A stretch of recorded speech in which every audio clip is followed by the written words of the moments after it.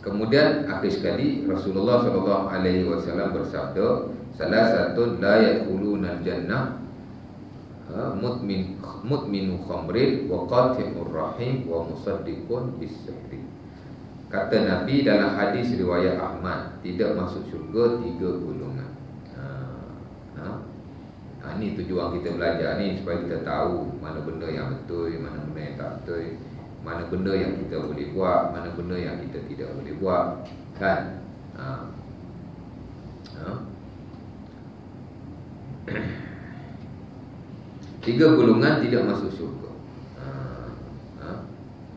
mudminu khamri orang yang sentiasa meminum arak ha. Ha. Ha. Ha.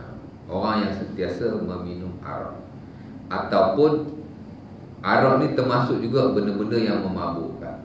Arak dah tu kullu khamrin Nabi kata kullu muskirin khamrun wa kullu khamrin haram. Hadis Abi Dawud. Nabi kata setiap benda yang memabukkan itu adalah arak dan setiap arak itu adalah haram.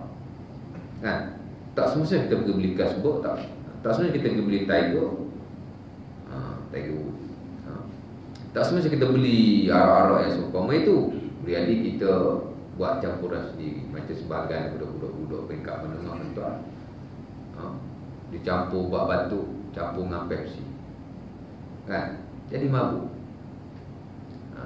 Ataupun daripada tumbuh-tumbuhan yang semula jadi. Boleh jadi arak juga. Mabuk. Ha? Nampak? Ayah apa-apa lah. Daripada pokok semula jadi Bila kita minum dia jadi mabuk. Tak boleh juga, dia kira Dan bila banyak dia mabuk, sikit pun jadi haram. Kullu ma'askara qaliluhu kasiruhu faqaliluhu haram. Nabi kata kalau benda tu banyak dia mabuk, sikit pun jadi haram.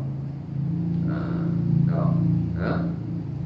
Ada Abi Daud. Jadi kena lihat Nampak? Ha, jadi Arab ni benda yang memabukkan Semua nama Arab Walaupun dia tidak ada jenama tertentu. Arab berlaku Arab asal mabuk ha, Secara walidnya mabuk lah ha, Ada orang minum Pepsi dia mabuk Orang lain minum Pepsi tak mabuk Dia seorang minum Pepsi mabuk ha, Pepsi tu tak ada Arab lah.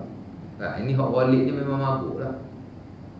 Ha, Maka dia dibawa kategori Arab. Ha?